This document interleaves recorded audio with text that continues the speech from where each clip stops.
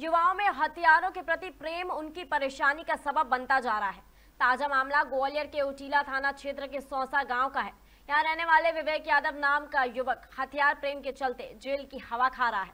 दरअसल पिछले दिनों सोशल मीडिया पर एक युवक ने अपने सीने पर एक नहीं दो दो कट्टे रखकर फ़ोटो खिंचवाकर उसे वायरल किया था। यह वायरल फोटोग्राफ पुलिस अफसरों के पास भी पहुँचा था। इसके बाद आरोपी की तलाश शुरू की गई। युवक को गिरफ़्तार किया गया। साथ ही पुलिस ने युवक के पास से तमंचा भी बरामद किया। पुलिस ने मामले में युवक विवेक के खिलाफ मामला दर्ज कर कार्रवाई शुरू कर दी है। एक फ़ोटो हमारे उटीला थाना प्रभारी को मिली, जिसमें एक युवक कट्टे को छाती पे लगाए हुए है टांगे हुए है तावीज की तरह, और उसे जब पहचान की गई तो सौसा गाँव का रहने वाला निकला। जिससे पुलिस ने तलाश किया तो उसके कब्जे से एक कट्टा बरामद हुआ है और सफ़ेद कट्टे पर आर्म्स एक्ट के तहत अपराध पंजीकृत कर उसे माननीय न्यायालय पेश किया गया है।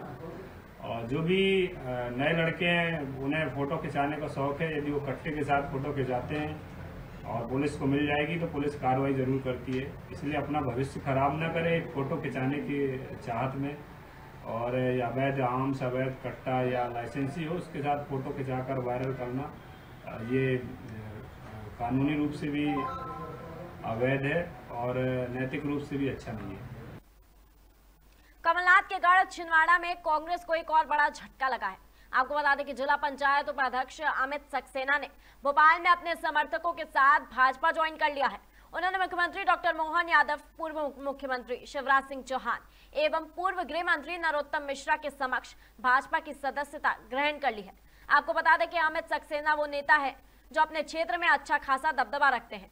जिला पंचायत सदस्य के चुनाव में उन्होंने बाईस हज़ार लगभग वोट से जीत हासिल की थी।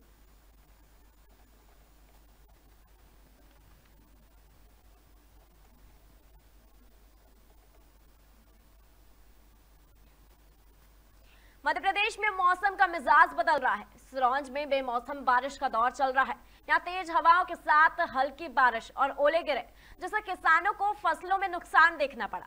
वहीं खेत में रखा अनाज किसानों ने सुरक्षित कर दिया।